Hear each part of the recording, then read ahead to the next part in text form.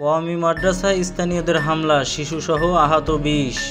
হবিগঞ্জের মাধবপুরে একটি কওমি মাদ্রাসায় স্থানীয়দের হামলায় শিশুসহ মোট বিশ শিক্ষার্থী আহত হয়েছে।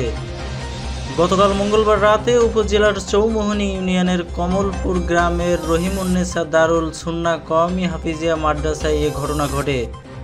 আহতরা সবাই মাদ্রাসার শিক্ষক এবং শিক্ষার্থী।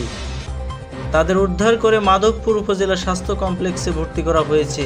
দীর্ঘদিন ধরে স্থানীয়দের সঙ্গে মাদ্রাসা কর্তৃপক্ষের দ্বন্দ্বের কারণে ঘটনা ঘটেছে বলে জানা গেছে।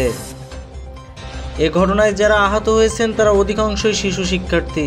মাদ্রাসার হেফস বিভাগের সভাপতি ইবাদুর রহমান বিল্লাল বলেন, দীর্ঘদিন যাবৎ সেখানে স্থানীয় লোকজনদের মধ্যে মাদ্রাসা কর্তৃপক্ষের সাথে বিরোধ চলছে।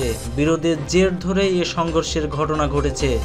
মাধবপুর থানার ভারপ্রাপ্ত কর্মকর্তা ওসি আব্দুর রাজ্জাক জানান, ঘটনার খবর পেয়ে পুলিশ ঘটনাস্থলে গিয়ে পরিস্থিতি নিয়ন্ত্রণ করেছে এবং বর্তমানে সেখানে পরিস্থিতি স্বাভাবিক রয়েছে।